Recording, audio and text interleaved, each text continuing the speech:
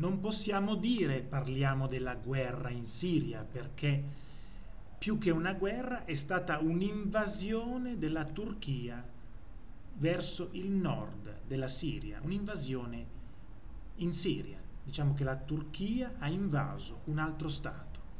La Turchia che ha chiesto di entrare nell'Unione Europea, la Turchia che fa parte dell'alleanza atlantica, l'alleanza militare. Attenzione, hanno fatto entrare di tutto nell'alleanza atlantica e vogliono far entrare di tutto nell'Unione Europea. E questi sono i risultati. Non tutti hanno le credenziali morali, etiche e i valori per far parte dell'Unione Europea. Ve lo volete mettere in quella zucca vuota che avete in Europa? No, eh?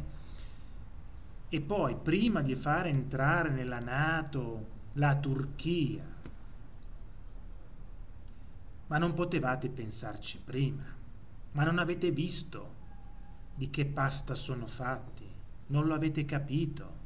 Anche lì avete delle teste vuote alla Nato, teste vuote. E così gli Stati Uniti se ne vanno, lasciano soli i curdi e adesso chi prende il posto degli Stati Uniti come intermediatore, mediatore, è la Russia di Putin. Le forze armate di Mosca entrano in Siria. Una divisione corazzata si è schierata sul confine con la Turchia e anche una divisione di terra. Ricordo, una divisione corazzata sono circa 250 carri armati, una divisione di terra sono circa 11.000-15.000 soldati. Le forze armate russe prendono posizione nelle basi abbandonate dalla ritirata degli Stati Uniti per ordine di Donald Trump, ma anche britannici e francesi. Donald Trump ha detto basta guerre stupide, che adesso lì ci vada a fare il pacere o il mediatore chiunque, anche Napoleone Bonaparte. Beh, l'ironia di Donald Trump è assolutamente fuori luogo con tutte le morti che stanno avvenendo tra i civili, bombardamenti, centinaia di migliaia di persone costrette a lasciare le loro case non ha, per non avere in mano più nulla. E lui ride, sarcastico, che ci vada anche Napoleone Bonaparte. Che bel presidente che hanno questi americani, veramente. Poi se si dice che il presidente, la politica è lo specchio del paese, siamo a posto. Intanto l'inviato speciale della, di Mosca, di Putin, Alexander Lavrentiev, fa sapere all'agenzia di stampa RIA Novosti che il dialogo tra Turchia e Siria è in corso e aggiunge penso che non solo lo scontro turco-siriano non sia nell'interesse di nessuno, ma anche che sarebbe inaccettabile. Sarà chiaro, non lasceremo che le cose arrivino a questo punto, anche perché in eh, soccorso erano arrivate anche quello che resta delle forze armate siriane per schierarsi sul confine turco, però voi sapete che la battaglia è impari perché la Turchia ha un esercito enorme, non è dei più avanzati, non è dei più moderni, è diciamo enorme di numero, ma voi sapete che eh, attualmente quando si parla di forze armate non è il numero, ma è il tipo di armamento. Attenzione, l'esercito di Saddam Hussein era la quarta forza armata al mondo per numero di mezzi, ma è stato distrutto in poche decine di ore perché erano mezzi obsoleti, obsoleti non serve avere 3.000 carri armati obsoleti che non servono più a niente, basta un aereo da combattimento per far fuori tutti questi carri armati. Quindi attenzione, le forze armate turche numericamente sono uno degli eserciti più numerosi del mondo, ma questo non comporta nulla. Ricordiamoci che Stati Uniti, e Russia detengono il maggior numero di armi balistiche ad armamento nucleare montati su missili balistici intercontinentali. si parla di circa 15-16 mila missili con armamento atomico da parte degli Stati Uniti e lo stesso numero, circa 15-16 mila missili con armamento atomico delle, della Russia. Quindi Russia e Stati Uniti hanno la leadership e la supremazia militare assoluta. Le forze armate degli Stati Uniti hanno sempre comunicato al loro presidente non si preoccupi, disponiamo di un armamento e di un arsenale illimitato. È così, è. Quindi la Russia adesso si metterà come interposizione tra i due schieramenti e nessuno può, se non gli Stati Uniti, confrontarsi con le armi, con la Russia, nessuno. Quindi se la Russia si mette in mezzo, non c'è trippa per gatti.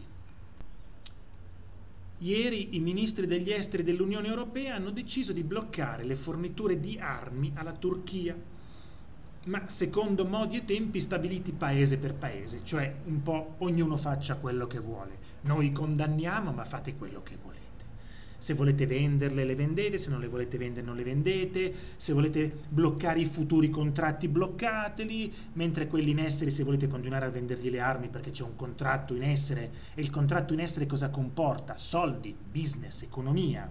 Quindi l'economia passa sopra le morti. Eh? Se c'è qualche contratto in essere e volete rispettarlo, eh, è un contratto in essere, che facciamo? Gli roviniamo la vendita all'azienda X o Y e quindi ogni paese faccia quello che vuole. E l'Italia, come Luigi Di Maio, dice stop alle vendite, stop alle vendite anche delle commesse in essere, cioè le vendite in corso. Ma di fatto, in questo momento che vi sto parlando, non c'è nessuno stop italiano, perché non c'è un decreto di urgenza per farlo. Perché Conte non fa un decreto d'urgenza? Cosa c'è dietro? A ogni azione politica le azioni politiche non sono casuali, c'è sempre un motivo. Perché Conte non agisce di immediato come hanno fatto gli altri paesi europei? Però i titoli, come il titolo del Corriere della Sera, sottolineato l'Italia ferma la vendita di armi alla Turchia. No, l'Italia ha detto la fermerò, ma non lo ha ancora fatto almeno a me non prendete in giro. Però molti ci cascano, titolone, l'Italia non vende più le armi, bravi, che governo eccezionale. Non è vero, non è vero, e solo lo faremo. Come quando dicono la nuova manovra non ha tasse, Di Maio ha detto non ci sono tasse, non è vero, non è vero. C'è l'aumento delle tasse sulla casa del 13%, Vedremo il testo finale, vedremo il testo finale. Intanto il segretario di Stato Mike Pompeo, quello che era venuto in Italia settimana scorsa, telefona al ministro degli esteri turco Mulvut Kozguglugu, si chiama così. Risultato nessuno per il momento. Tra oggi e domani dovrebbe arrivare ad Ankara il vicepresidente Mike Pence e il, candi- e il calendario è ancora prevista la visita di Erdogan alla Casa Bianca il 13 novembre. Trump, Trump dopo aver creato involontariamente questo o chissà dopo averlo magari pianificato con Erdogan senza sapere che quello, lo chiamiamo così, quello avrebbe fatto quello che abbiamo visto, allora Trump ha cambiato. E eh no, adesso sanzioni, dazi, fermati, gli ha detto ad Erdogan, fermati, no? Fino a ieri rideva che ci vada pure Napoleone Bonaparte queste guerre stupide che vanno avanti da 200 anni, diceva tra il goliardico, il grottesco e lo sprezzante. Ma adesso dice prevediamo dazi fino al 50% sull'import di acciaio e il blocco di un accordo commerciale da 100 miliardi di dollari e per un altro è ancora in discussione. È una grande punizione, come proclama da Trump, la Turchia vende agli Stati Uniti beni per circa 10,3 miliardi di dollari nel 2018. La voce acciaio vale circa 500 milioni di dollari, cioè il 5%, un po' meno dell'export dei tappeti. Poco più di un graffio per Ankara, Stati Uniti ed Europa possono colpire davvero Erdogan, congelando per esempio gli investimenti diretti specie nel settore automotive, le macchine. o tagliando fuori le già traballanti banche di Istanbul dalle transazioni in dollari e in euro. Ma per adesso prevale la cautela e cresce il ruolo di Putin. Quindi solita Europa che non serve a un beneamato BIP, non serve a niente questa Europa, a niente, a niente. Non si interpone, non fa, non dice perché, attenzione, l'Europa così come adesso serve solo a tutelare gli affari dell'Europa stessa, l'economia dell'Europa. Questa Europa è insieme per la moneta e nient'altro, ma non c'è una politica estera comune, una politica interna, non c'è nulla, è una congregazione di stati uniti da una moneta e basta, e basta. Non serve a niente questa Europa, assolutamente a nulla, a nulla. Grazie per avermi ascoltato e vi rimando al prossimo video. Arrivederci.